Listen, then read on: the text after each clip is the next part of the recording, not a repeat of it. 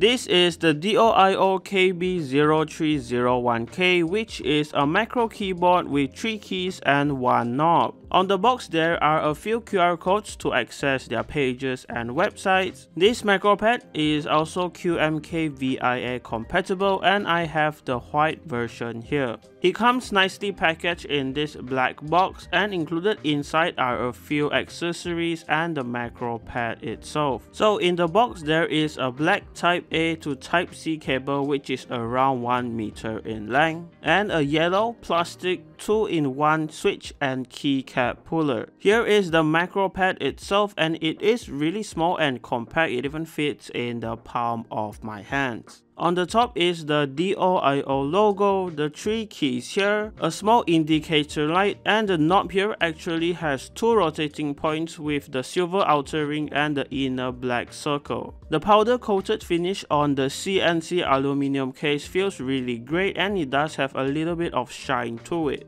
There's 4 rubber feet at the bottom and a frosted acrylic piece where you can kinda see the PCB inside. On the back you have a switch here to toggle in between the layers and the Type-C connection port as well. If you're wondering about the weight, it's right under 200 grams which is really light for a solid piece of tech.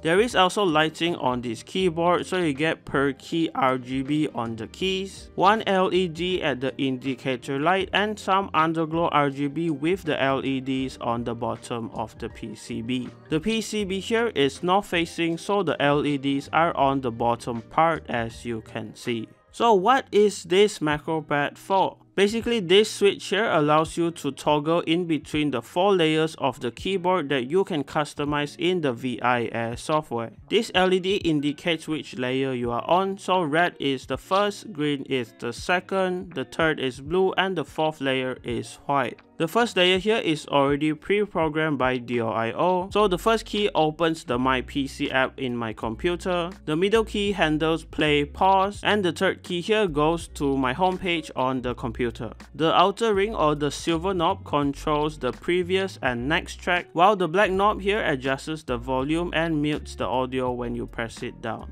As for the second and the third layer here, it has been pre-programmed to be used with some of Adobe's software. But if you don't want that, you can reprogram it or just reconfigure it with the QMK VIA software so you can reprogram it to do whatever you want. The fourth layer here is already pre-programmed as well and it's for adjusting the RGB on the macro pad. The first key lowers the brightness of the lighting on the macro pad. The third one increases the brightness as you can see so it's pretty simple. The middle one cycles between all the RGB modes. There are quite a lot already installed here so the underglow and the RGB for the switches will be changed when you press on the switch. Here are just a few samples of the preloaded RGB modes. The PBT keycaps included are XDA profile so they are all the same height and kinda has a matte texture finish on it but what I like is the thickness of the PBT keycaps. The switches included are Gateron Milky Yellows which are pretty good to be honest. It even comes with an FR4 plate here and the PCB is 5 pin hot swap and north facing too as previously mentioned.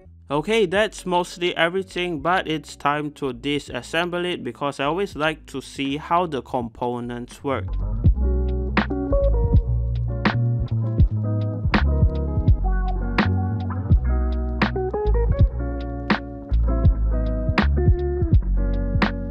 So here is a quick look at all of the components here. The two pieces of the knob here are also CNC aluminum and it feels really premium and solid in hand. The top case is also the same but what is really nice here is the powder coated finish and it's so matte that it doesn't show or pick up any fingerprints. Here is the bottom acrylic piece which doesn't show any fingerprints too and it's pretty cool with this opaqueness to it. And here is the main PCB which has the three switches on top with the FR4 plate and the knob here in the middle. Here at the back of the PCB is the Type-C port next to the mode toggle switch and the 6 LEDs for the underglow RGB. And as for the hot swap sockets, the ones used here are Gateron sockets so that is good. And here's a quick sound test before I move on to my final thoughts on this macro pad.